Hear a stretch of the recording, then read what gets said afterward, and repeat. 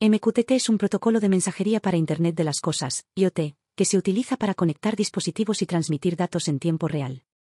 Fue desarrollado por IBM en 1999 y se ha vuelto cada vez más popular en los últimos años debido a la creciente demanda de IoT. MQTT funciona como un sistema de publicación barra diagonal suscripción, donde los dispositivos pueden publicar mensajes en un canal, también conocido como tópico, y los otros dispositivos pueden suscribirse a ese canal para recibir esos mensajes.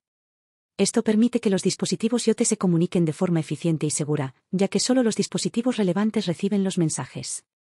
Una de las ventajas de MQTT es su eficiencia en el uso de la banda ancha y la batería. MQTT utiliza un formato de mensaje binario compacto y es capaz de transmitir mensajes a través de redes de baja velocidad y con poca disponibilidad de ancho de banda. Además, MQTT permite a los dispositivos dormir la mayor parte del tiempo y solo despertar cuando es necesario para recibir o enviar mensajes, lo que ahorra energía y prolonga la vida útil de la batería. Otra ventaja de MQTT es su seguridad.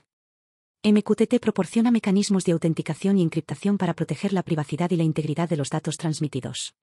Esto es especialmente importante en aplicaciones IoT críticas, como la automatización industrial o la salud, donde los errores o la interceptación de datos pueden tener consecuencias graves. you